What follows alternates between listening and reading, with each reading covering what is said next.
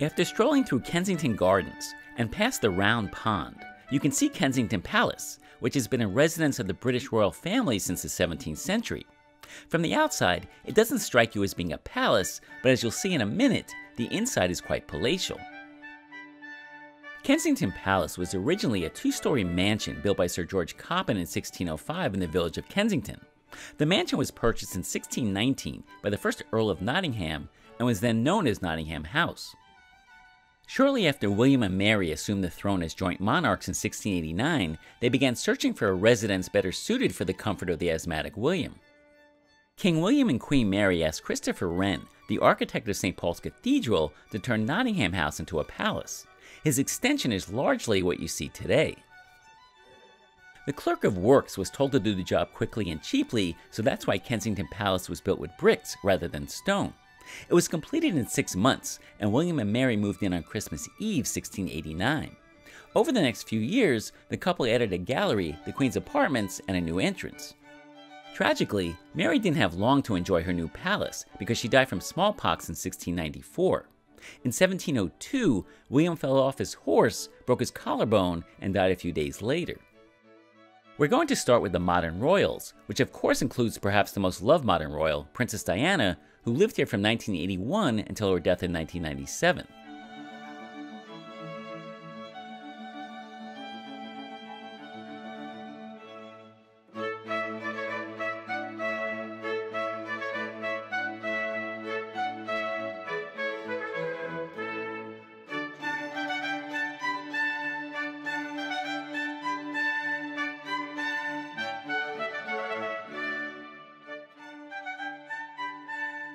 The King's Staircase leads to the King's State Apartments. It was decorated by William Kent and was completed around 1726. All of the elite climbed these stairs to visit the king, but could only enter if their clothes and jewels were acceptable to the guards. The King's Gallery was built in 1700 for William III. He would meet with his spies and plan his military campaigns here. In 1694, Robert Morden made the wind dial, which was attached to a weather vane on the roof. The wind dial was helpful to the king because he could see if the wind would allow an invasion fleet to come up the English Channel. William Kent transformed the gallery by 1725 as the green velvet was replaced by red damask. Kent and his assistants painted the seven large ceiling paintings, which showed scenes from the life of Ulysses.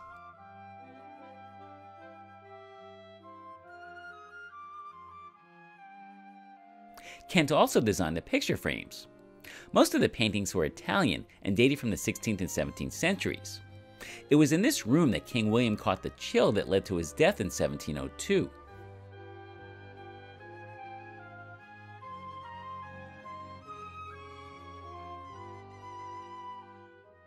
The Cupola Room is the most decorated room in the palace, and this is where George II and Queen Caroline hosted lavish parties. William Kent decorated the room and made it look like a Roman palace. This is a clock and music box. It was completed in 1743 and was bought by Princess Augusta.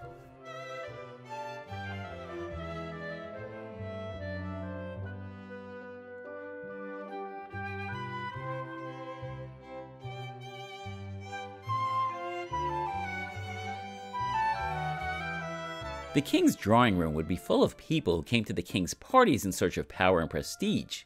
The king's bedchamber was next door, and at some point, he'd come out and make an appearance. Guests would form a circle, hoping to speak with him. This room was the site of a famous royal argument in 1735.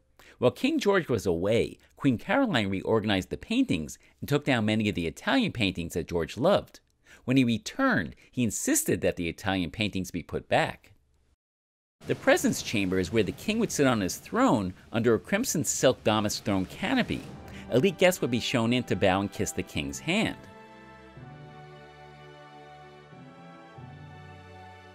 Before we see the royal queen's apartments, let's take a look at some spectacular jewels.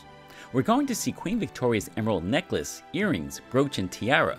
We'll also see jewelry from Queen Victoria's granddaughter, Princess Louise, including her diamond tiaras.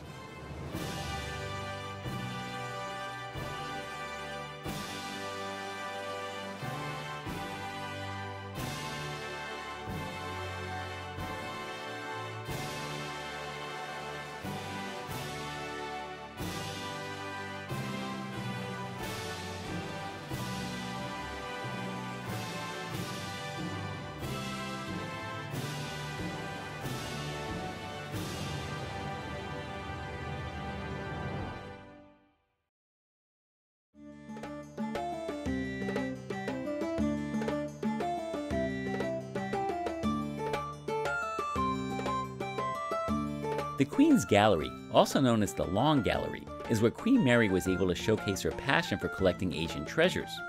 There were 150 pieces of Oriental porcelain in this room alone, and you can see some over the fireplace. Mary was crowned queen at the age of 28, and in 1677 she married her older cousin William, who was twice her age. William was from the Netherlands, and it was there that Mary developed her passion for collecting treasures from Asia.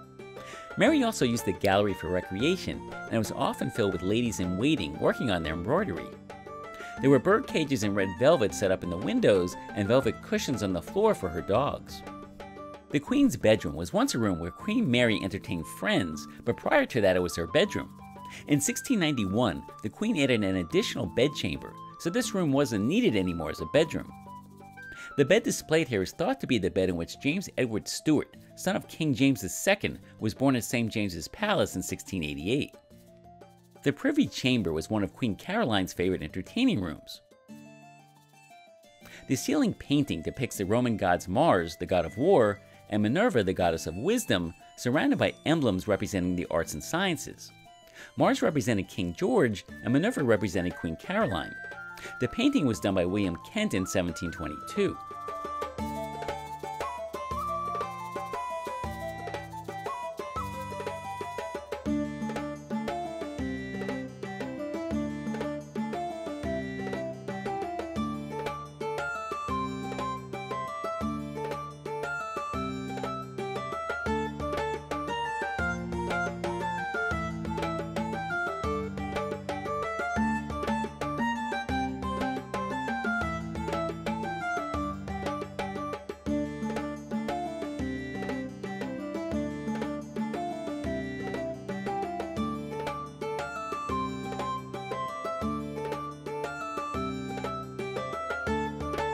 The paneling in the Queen's dining room is from the 17th century.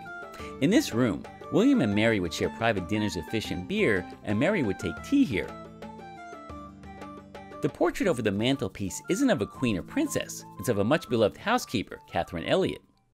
Catherine had been nurse to the infant James II, Mary's father, and later served as a court dresser and woman of the bedchamber to both his wives. Mary II had originally filled the Queen's drawing room with porcelain in 1694.